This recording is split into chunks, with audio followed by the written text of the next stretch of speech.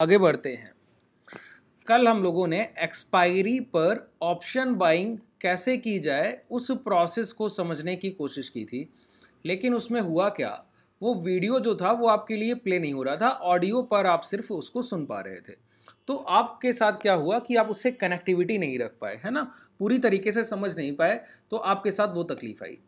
मैं क्या कर रहा हूँ, उस पूरे सेशन को आज के उपलक्ष्य में, आज जैसा बाज़ार रहा उसके बिहाव पर समझने की कोशिश करते हैं। जैसे कल ही मैंने आपको बताया कि ये समय एक्सपायरी स्पेशलिस्ट बनने का है। एक्सपायरी को जो बेहतर समझेगा, वो जो ट्रेड्स करेगा, उसके लिए जो चीज़ें आगे आएँगी, वो बहुत बेनिफिशियल होंगी। क्योंकि एक्सपायरी ही होती है ऑप्शन बाइंग का टाइम ठीक है? तो ऑप्शन बाइंग कैसे करना है? प्रोसेस प्रोसेस में मोमेंटम कैच करेंगे हम लोग एट एक्सपोनेंशियल मूविंग एवरेज से एट ई से। ठीक है? अच्छा क्या खरीदना है, क्या नहीं, ये कैसे डिसाइड होगा? ये डिसाइड होगा प्राइज एक्शन से। ठीक है? तीसरी बात, कौन से स्ट्राइक प्राइस बाई करने हैं? कॉल बाई करना है, कौन सा कॉल बाई करना है, ये कैसे डिसाइड होगा? ये डिसाइड होगा टाइम से।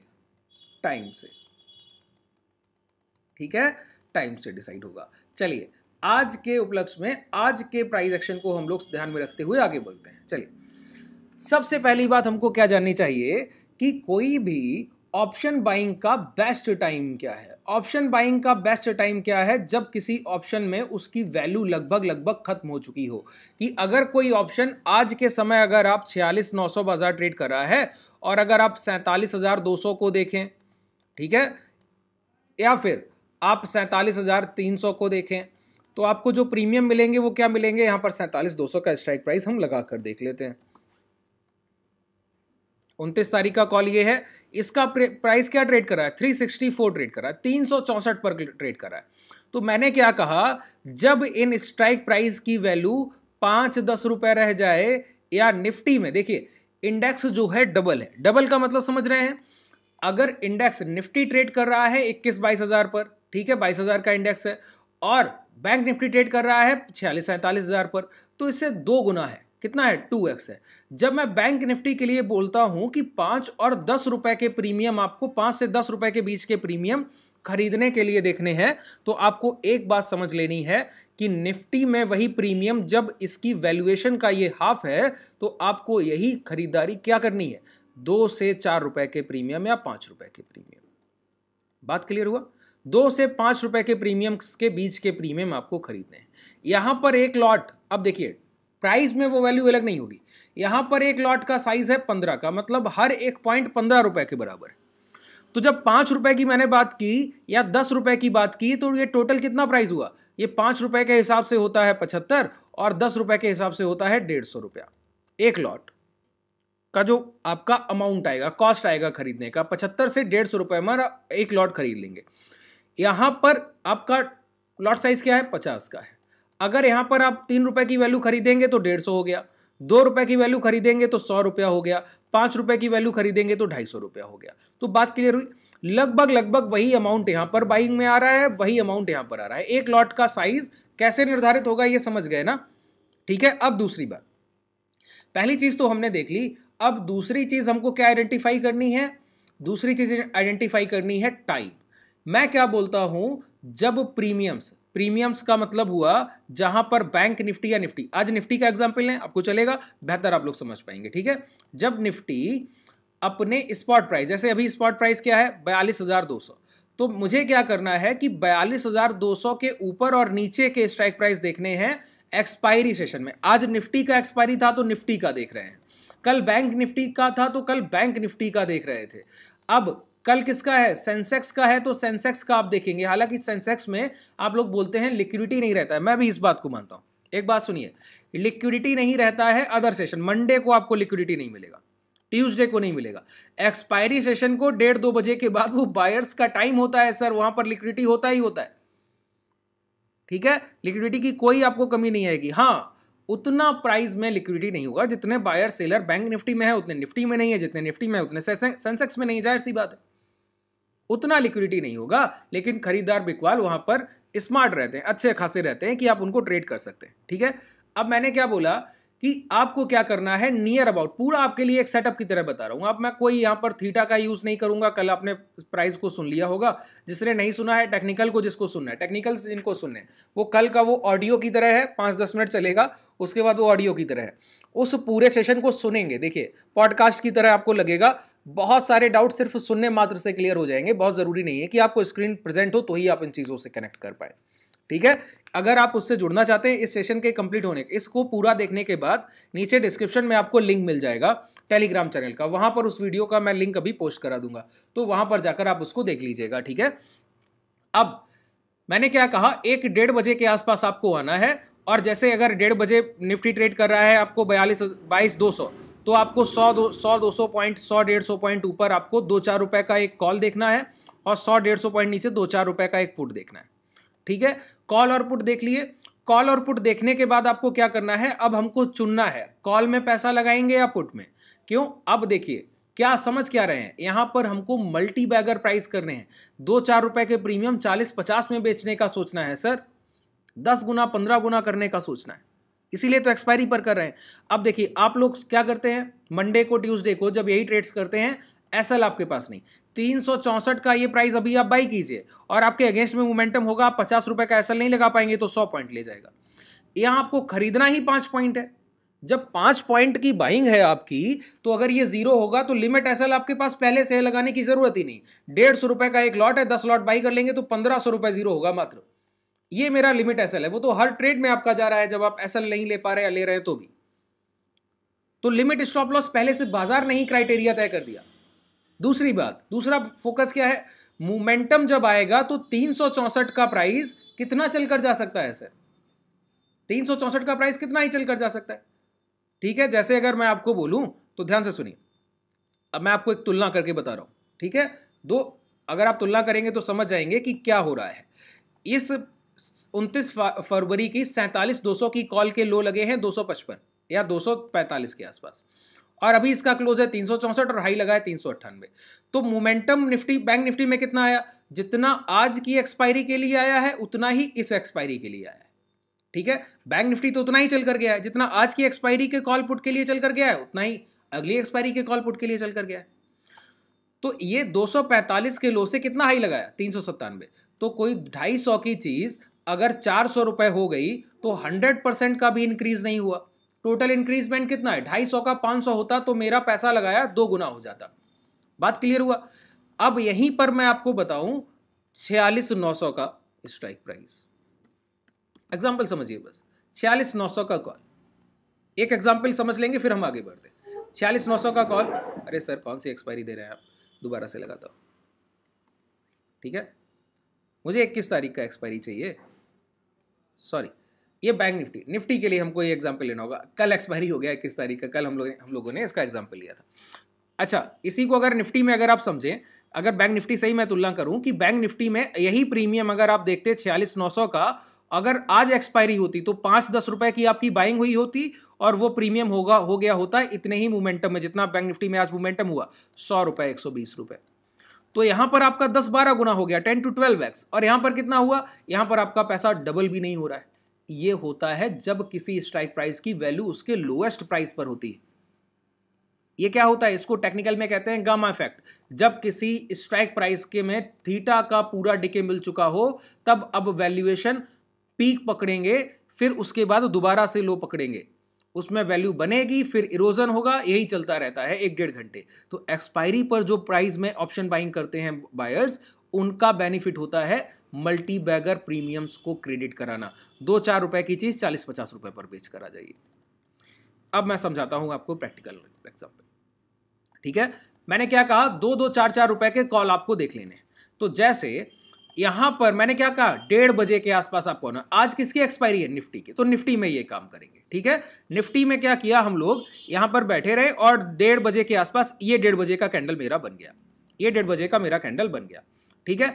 अब इस डेढ़ बजे की कैंडल को जब मैंने देखा तो मैं क्या, मैंने क्या कहा? ट्रेंड आइडेंटिफिकेशन कि प्राइस क्या कर रहा है? तो मैंने आपको एक सेट सेटअप बताया हुआ है प्राइजेक्शन में सबसे डीप प्राइजेक्शन का वो बिहेवियर है क्या पॉजिटिव कंसोलिडेशन और नेगेटिव कंसोलिडेशन अगर पॉजिटिव नेगेटिव कंसोलिडेशन पर दोबारा सेशन चाहिए तो नीचे कमेंट सेक्शन में बताइएगा।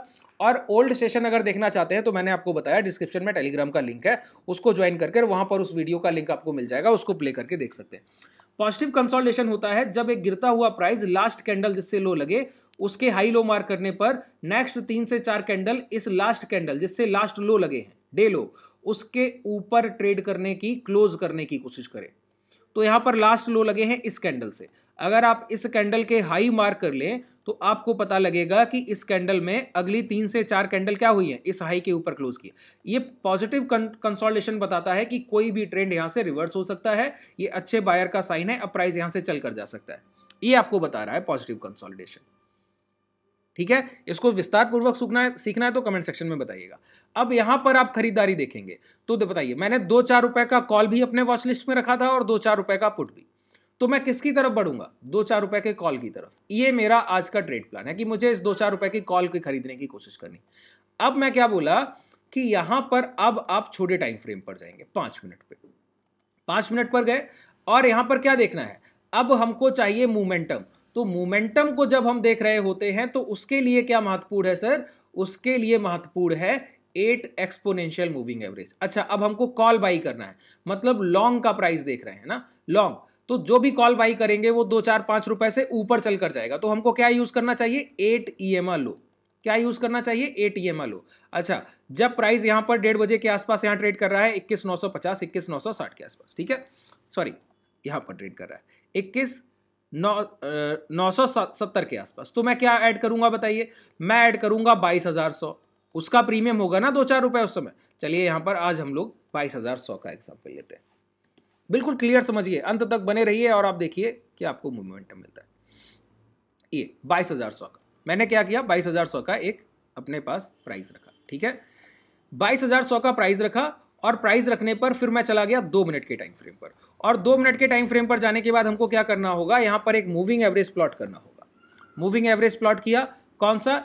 यहाँ पर सेटिंग में क्या चेंज करना है? एट का लेंथ क्लोज एक्सपोनेंश लो और एसएमए को ई e में कन्वर्ट कर दिया। ठीक है? अब ये मेरा पूरा सेटअप बन गया।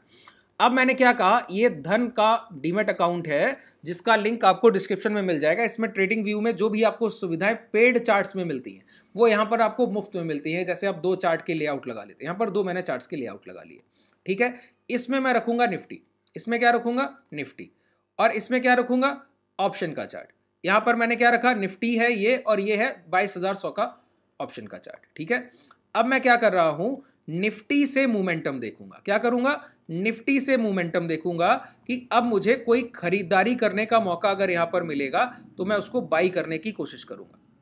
ठीक है? कोई भी खरीदारी का मौका मिलेगा तो अब मैं वहाँ पर खरीदने की कोशिश करूँगा, क्योंकि मैंने आइडेंटिफाई कर लिया, मुझे लॉन्ग की तरफ़ जाना है।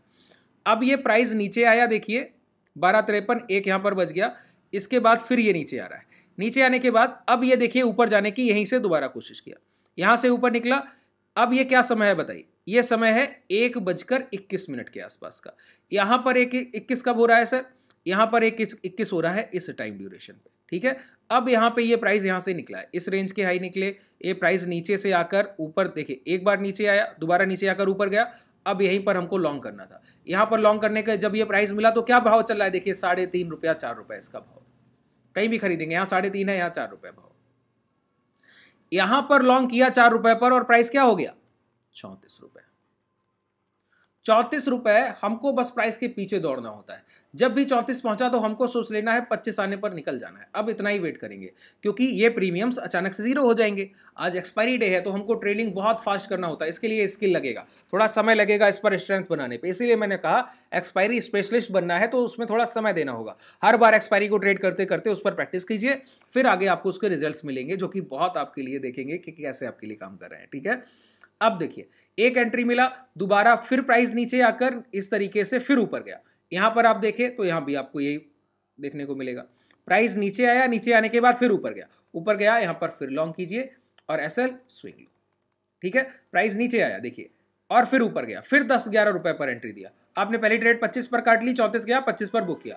पच्चीस पर बुक करने के बाद अब आप बैठे हैं, दोबारा आपको एंट्री मिला। एंट्री मिला एसएल आप स्विंग लो रख दीजिए फिर से। अब दस बारह का प्रीमियम है, क्यों ज़ीरो कराएँगे? स्टॉप लॉस के साथ चलेंगे। अब ये दस बारह का प्रीमियम देखिए कहाँ जाकर बंद हो रहा है। दस बारह का प्रीमियम एक सौ सत्रह पर बंद हो रहा है। क्लोजिंग क्या है? वन वन सेवन बात क्लियर हुआ? टेन एक्स फिर से हो गया। दस गुना फिर से हो गया। यही कल मैंने बैंक निफ्टी, कल बैंक निफ्टी की एक्सपायरी था तो कल बैंक निफ्टी को हमने इसी कॉन्सेप्ट को सीखा था, ठीक है? कल बैंक निफ्टी की एक्सपायरी में आपने देखा, चार गुना आठ गुना प्रीमियम हुए। आज आपने निफ्टी की एक्सपायरी में देखा, पाँच गुना आठ गुना दस गुना प्रीमियम हुए।